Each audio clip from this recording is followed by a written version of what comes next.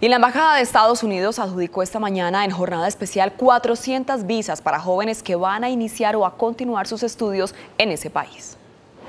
En la jornada del Student Visa Day, que organiza anualmente la Embajada de Estados Unidos en Colombia, 400 fueron los llamados y 400 los adjudicados. Hubo visas para estudiantes de educación básica. Yo voy allá para mejorar mi educación y continuar mi educación. De pregrado. Voy a hacer mi último año de ingeniería civil allá para poder recibir mi grado tanto allá como volver a la, a la Universidad del Norte y graduarme aquí también. De posgrado. Yo soy zootecnista y estoy haciendo un postdoctorado en la Universidad de Pensilvania. Para venezolanos. Un año en inglés y después empezaría mi carrera en ingeniería.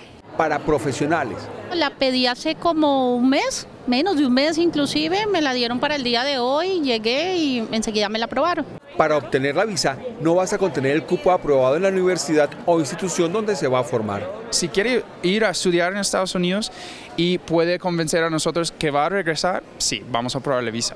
Existe ya una comunidad en red integrada por más de mil colombianos egresados de universidades de Estados Unidos para orientar a quienes desean estudiar en ese país.